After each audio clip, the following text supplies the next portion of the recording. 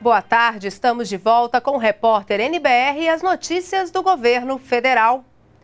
O presidente Michel Temer está em Nova York e fez nesta manhã o discurso de abertura da Assembleia Geral da ONU. Como é tradição há quase 70 anos, o Brasil é o primeiro país a se pronunciar no evento que reúne os chefes de Estado dos 193 Estados-membros da Organização das Nações Unidas. A repórter Paola Diorti acompanhou o discurso do presidente. Nesse discurso, ele destacou alguns temas centrais para a agenda internacional, entre eles direitos humanos, meio ambiente, desenvolvimento e paz e segurança. Paz e segurança, por exemplo, o presidente mencionou o programa nuclear da Coreia do Norte, ele condenou esse programa e também falou sobre o tratado para a proibição de armas nucleares, que será ratificado amanhã pelo Brasil. Esse tratado que foi proposto pelo Brasil e que precisa da ratificação de pelo menos 50 países para entrar em vigor.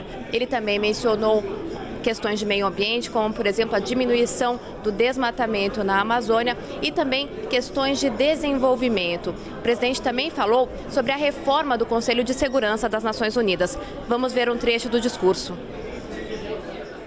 Neste momento da história, de tão marcados traços de incerteza e instabilidade, necessitamos de mais diplomacia e negociação nunca menos, de mais multilateralismo e diálogo, nunca menos.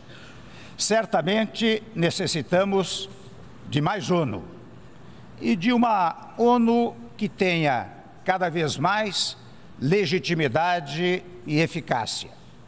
Não por outra razão, sustentamos, ao lado de tantos outros países, o imperativo de reformar as Nações Unidas é particularmente necessário ampliar o Conselho de Segurança para ajustá-lo às realidades do século XXI.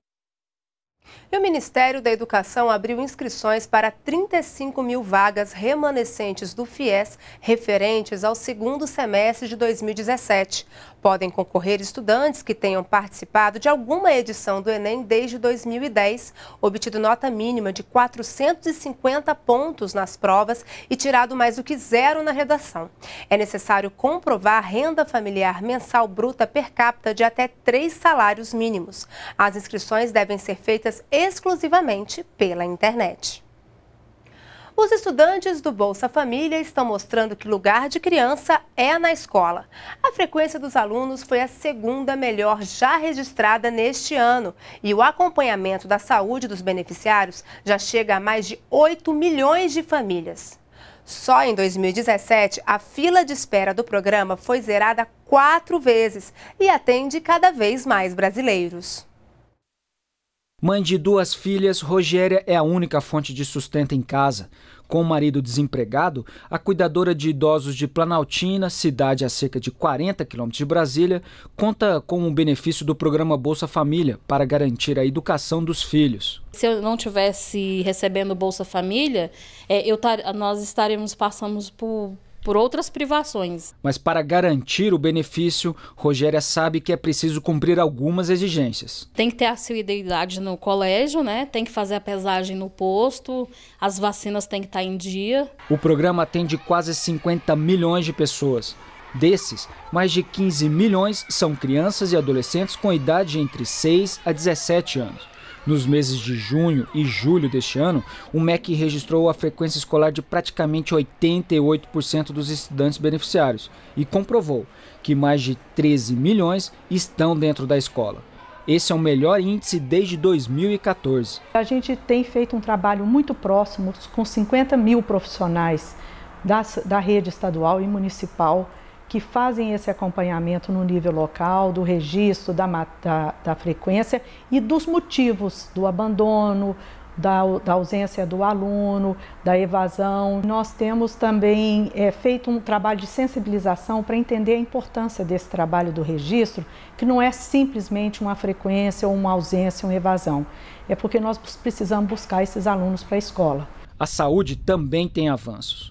Das quase 14 milhões de famílias beneficiadas pelo programa, mais de 8 milhões foram atendidas de perto por equipes de saúde. O agente de saúde que vai na casa fazer o, a, pesar e medir as crianças e verificar a caderneta, ela não olha só a criança, ela olha a família toda, ela olha se tem um idoso que está precisando de atenção, outras políticas do Ministério de Saúde que sejam direcionadas a públicos da família.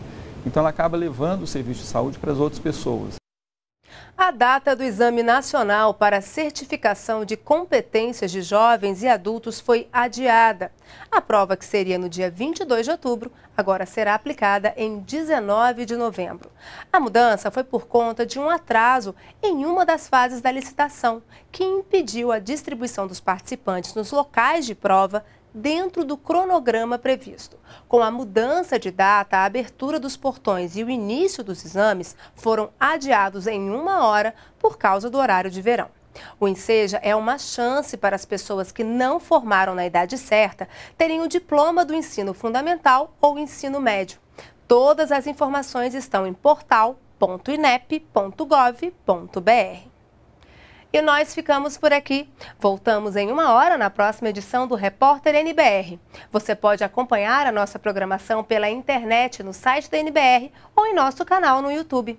Uma boa tarde para você e continue com a gente na NBR, a TV do Governo Federal.